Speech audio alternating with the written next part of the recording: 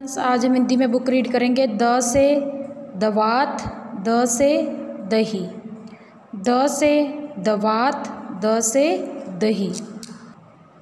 तो बच्चों देखो, अब हम हिंदी में इस नोटबुक पर द बनाना सीखेंगे। तो देखो बच्चों, पहले ऊपर जैसे कि थ्री लाइंस को यूज़ किया तो ऊपर हमने स्लीपिंग लाइन डाली है सब में।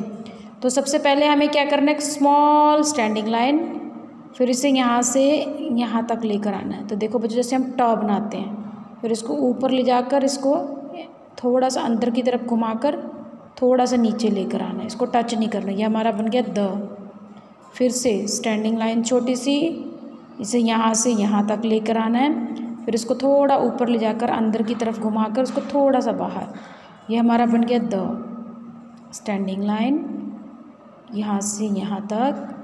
को अंदर की तरफ़ लाकर, अंदर से घुमाकर उसको यहाँ तक ये हमारा बन गया द।